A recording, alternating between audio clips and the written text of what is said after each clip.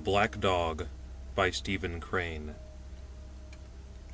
There was a ceaseless rumble in the air as the heavy raindrops battered upon the laurel thickets and the matted moss and haggard rocks beneath. Four water-soaked men made their difficult ways through the drenched forest. The little man stopped and shook an angry finger at where Night was stealthily following them. Cursed be Fate, and her children, and her children's children! We are everlastingly lost!" he cried. The panting procession halted under some dripping, drooping hemlocks, and swore in wrathful astonishment.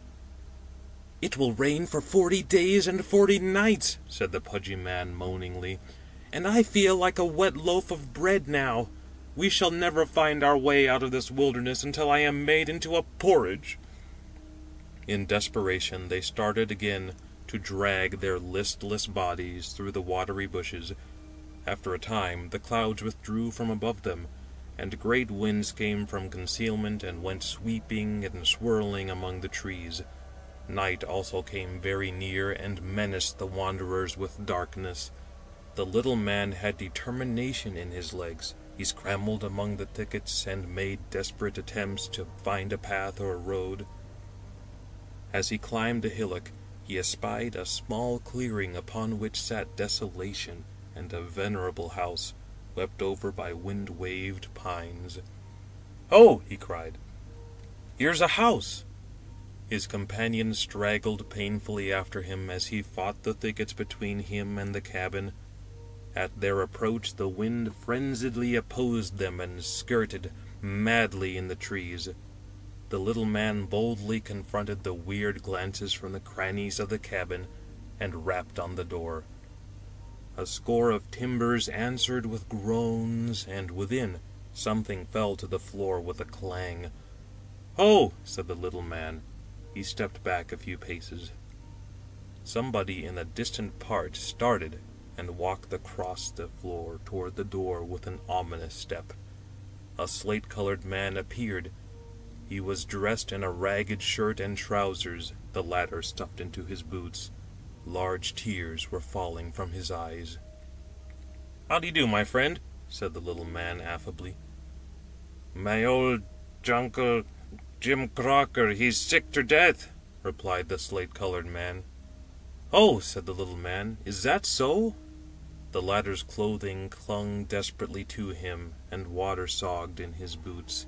He stood patiently on one foot for a time. "Can you put us up here until tomorrow?" he asked finally. "Yes," said the slate-colored person. The party passed into a little unwashed room inhabited by a stove, a stairway, a few precarious chairs, and a misshapen table. "I'll fry you some poke and make you some coffee," said the slate-colored man to his guests. "Go ahead, old boy cried the little man cheerfully from where he sat on the table, smoking his pipe and dangling his legs. "My old uncle Jim Crocker, he's sick to death," said the slate-colored man. "Think he'll die?" asked the pudgy man gently. "No." "No?" "He won't die. He's an old man, but he won't die yet. The black dog ain't been around yet." "The black dog?" Said the little man feebly. He struggled with himself for a moment. "What's the black dog?" he asked at last. "He's a spirit," said the slate-colored man in a voice of somber hue. "Oh, he is, well?"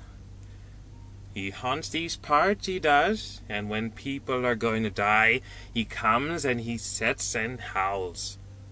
"Oh!" said the little man. He looked out of the window and saw night making a million shadows. The little man moved his legs nervously. "I don't believe in these things," said he, addressing the slate-colored man who was scuffling with a side of pork. "What things?" came incoherently from the combatant. "Oh, these er phantoms and ghosts and what not. All rot, I say." "That's because you have merely a stomach and no soul," grunted the pudgy man. "Oh, old Pudgeons!" cried the little man. His back curved with passion. A tempest of wrath was in the pudgy man's eye. The final epithet used by the little man was a carefully studied insult, always brought forth at a crisis. They quarreled. "All right, Pudgeons, bring on your phantom," cried the little man in conclusion. His stout companion's wrath was too huge for words. The little man smiled triumphantly. He had staked his opponent's reputation. The visitors sat silent. The slate-colored man moved about in a small personal atmosphere of gloom. Suddenly, a strange cry came to their ears from somewhere. It was a low, trembling call which made the little man quake privately in his shoes. The slate-colored man bounded at the stairway and disappeared with a flash of legs through a hole in the ceiling. The party below heard two voices in conversation, one belonging to the slate-colored man, and the other in the quavering tones of age. Directly, the slate-colored man reappeared from above and said, "The old man is took bad for his supper." He hurried prepared a mixture with hot water, salt, and beef. Beef tea it might be called. He disappeared again. Once more the party below heard, vaguely talking over their heads. The voice of age arose to a shriek. "Open the window, fool! Do you think I can live in the smell of your soup?" Mutterings by the slate-colored man and the creaking of the window were heard. The slate-colored man stumbled down the stairs, and said with intense gloom, "The black dog'll be along soon." The little man started, and the pudgy man sneered at him. They ate a supper and then sat waiting. The pudgy man listened so palpably that the little man wished to kill him. The wood fire became excited and sputtered frantically. Without, a thousand spirits of the wind had become entangled in the pine branches and were slowly pleading to be loose, loosened. The slate-colored man tiptoed across the room and lit a timid candle. The men sat waiting. The phantom dog lay cuddled to a round bundle, asleep down the roadway against the windward side of an old shanty. The spectre's master had moved to Pike County, but the dog lingered as a friend might linger at the tomb of a friend. His fur was like a suit of old clothes. His jowls hung and flopped, exposing his teeth. Yellow famine was in his eyes. The wind-rocked shanty groaned and muttered, but the dog slept. Suddenly, however, he got up and shambled to the roadway. He cast a long glance from his hungry, despairing eyes in the direction of the venerable house. The breeze came full to his nostrils. He threw back his head and gave a long, low howl, and started intently up the road. Maybe he smelled a dead man. The group around the fire in the venerable house were listening and waiting. The atmosphere of the room was tense. The slate-colored man's face was twitching, and his drabbed hands were gripped together. The little man was continually looking behind his chair. Upon the countenance of the pudgy man appeared conceit for an approaching triumph over the little man, mingled with apprehension for his own safety. Five pipes glowed, as rivals of a timid candle. Profound silence drooped heavily over them. Finally the slate-colored man spoke. My old Uncle Jim Crocker, he's sick to death. The four men started, and then shrank back in their chairs. Damn it, replied the little man vaguely. Again there was a long silence. Suddenly it was broken by a wild cry from the room above. It was a shriek that struck upon them with appalling swiftness, like a flash of lightning. The walls whirled and the floor rumbled. It brought the men together with a rush. They huddled in a heap and stared at the white terror in each other's faces. The slate-colored man grasped the candle and flared it above his head. "The black dog!" he howled, and plunged at the stairway. The maddened four men followed frantically, for it is better to be in the presence of the awful than only within hearing.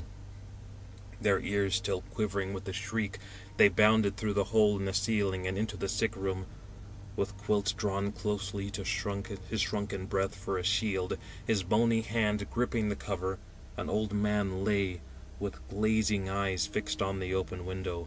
His throat gurgled and a froth appeared at his mouth. From the outer darkness came a strange, unnatural wail, burdened with weight of death, and each note filled with foreboding. It was the song of the spectral dog. God! screamed the little man. He ran to the open window. He could see nothing at first save the pine trees, engaged in a furious combat, tossing back and forth and struggling. The moon was peeping cautiously over the rims of some black clouds but the chant of the phantom guided the little man's eyes, and he at length perceived its shadowy form on the ground under the window. He fell away gasping at the sight. The pudgy man crouched in a corner chattering insanely.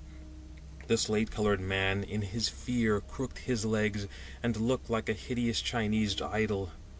The man upon the bed was turned to stone, save the froth which pulsated. In the final struggle, terror will fight the inevitable.